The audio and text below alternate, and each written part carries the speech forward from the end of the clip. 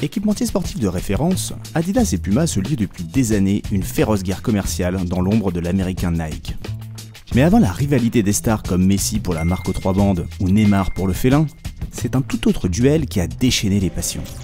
Et oui, savez-vous que ces deux géants du sport ont été fondés par deux frères que la Seconde Guerre mondiale a fini de séparer?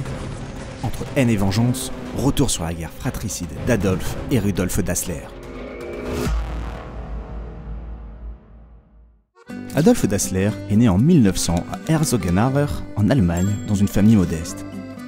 Deux ans plus tard, lui naît un petit frère, Rudolf, dont il est très vite assez proche. Herzogenaurach étant une ville célèbre pour son savoir-faire dans la chaussure, le père des frères Dassler, Christophe, est savatier. Leur mère Pauline, elle, possède une petite blanchisserie dans la maison familiale. Alors qu'Adolphe est plutôt réservé, Rudolf, lui, a un tempérament très extraverti, voire explosif selon certains. D'une enfance assez traditionnelle et heureuse, va rapidement succéder les horreurs de la guerre. Et c'est dans les tranchées que les deux frères seront séparés pour la première fois. Miraculeusement, ils reviennent tous deux vivants des champs de bataille acharnés du front occidental. Bouleversé par la monstrueuse expérience de la guerre, la vie doit somme toute reprendre, et c'est très naturellement dans la chaussure que les frères vont commencer à s'épanouir auprès de leur père. Le sportif Adolphe commence par confectionner des chaussures d'ouvriers à partir de stocks abandonnés par l'armée allemande. C'est aussi à cette époque qu'il va commencer à créer ses premières chaussures de course. Pour ce faire, il s'associe avec des forgerons pour concevoir des pointes artisanales nécessaires à l'adhérence de la chaussure. Le produit plaît rapidement à la population locale et il ouvre son premier magasin dont la notoriété ne cesse de croître. Dans cette époque de misère pour les Allemands, entre humiliation de la défaite, instabilité politique et inflation galopante, le sport est roi dans un pays assoiffé de revanche. Le football en particulier va redonner le moral à la population et de nombreux clubs voient ainsi le jour.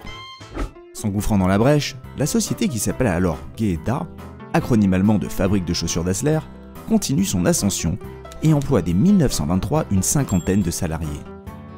En 1924, Adolphe, aussi appelé Adi, demande à son frère de le rejoindre dans l'entreprise, le travail étant trop difficile à assumer seul. Après des études de cordonnerie et une expérience dans la police, Rudolf s'empresse alors de rejoindre son aîné, et l'alchimie va prendre très rapidement.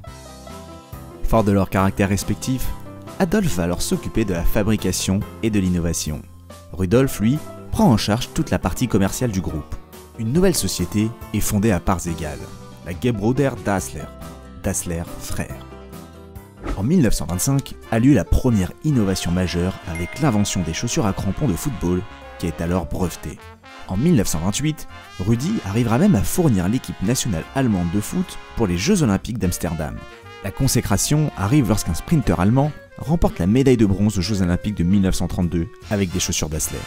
Puis Jesse Owens au JO de Berlin en 1936. Pour le Führer, c'est l'humiliation de trop de le voir gagner avec des chaussures allemandes. Membre du parti nazi dès sa création, Rudy équipe tout de même la nouvelle Wehrmacht, fierté du pays. Les deux frères partagent alors absolument tout, du bureau jusqu'à même leur maison dans leur ville natale, où ils vivent avec leurs épouses respectives. La femme d'Adi raconte plus tard à son sujet. Créer des chaussures n'était pas son travail, c'était sa passion. Les premières tensions finissent finalement par arriver entre les familles, mais aussi à cause des sympathies nazies de Rudy, ce qui ne plaît pas du tout à Adi dont l'idéologie du Troisième Reich le révulse. Rudolf dira à ce propos Ma relation avec mon frère était parfaite de 1924 à 1933. Ensuite, sa femme, qui était très jeune, a commencé à s'impliquer dans nos affaires malgré son manque d'expérience. C'est là que la guerre a éclaté. Finalement, ce sera la Seconde Guerre mondiale qui va terminer de creuser le fossé entre les deux frères. En relais de force dans la Wehrmacht, Rudy est contraint d'aller au front, pendant que son frère, lui, reste à l'usine réquisitionnée pour superviser la fabrication des bottes et autres matériels militaires. En 1943, lors d'une permission, Rudy observe avec effroi les cratères des bombes sur l'usine. Son frère s'exprime alors en disant Les foutus bâtards sont de retour, en parlant des avions américains. Mais Rudy croit que ces insultes lui sont destinées.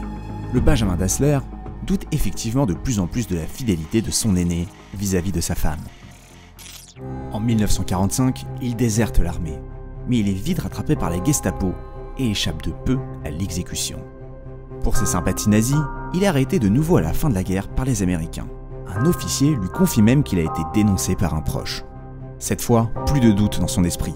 c'est son frère Adolphe le coupable qui aurait voulu se débarrasser de lui à deux reprises. Il purge donc un an de prison, en essayant en vain de faire tomber son frère qui, lui, fournit dès lors l'armée américaine. En 1948, il décide enfin de se séparer et partage la firme en deux. Alors qu'Adi conserve l'usine initiale et une quarantaine de salariés, Rudy, lui, part s'installer de l'autre côté du fleuve avec les 13 autres. Les employés doivent aussi choisir leur camp et deux nouvelles sociétés naissent de ce schisme. Pour le nom, il leur vient la même idée. Adidas, né de la contraction d'Adi Dassler, et Ruda, de la contraction de Rudy Dassler. Mais jugeant le nom Ruda peu vendeur et pas assez agressif, il le transforme en Puma, un mot prononçable dans toutes les langues. La compétition entre les deux frères est alors sportive, commerciale et sociale, puisque toute la ville est divisée entre les deux camps. Des commerces sont même réservés aux employés d'une des firmes au détriment de l'autre. La ville est alors surnommée ville au cou penché, car l'on regarde les chaussures en premier lors d'une rencontre afin de déterminer le camp de son interlocuteur. Puma équipe alors l'Allemagne de l'Est, et Pelé remporte même la Coupe du Monde en 1962 avec leurs chaussures aux pieds. Adidas, de son côté, sponsorise l'Allemagne de l'Ouest, qui remporte la Coupe du Monde 1954. L'un des rares accords entre frères est peut-être le fait de ne pas payer l'athlète allemand Armin Harry au JO de Rome en 1960.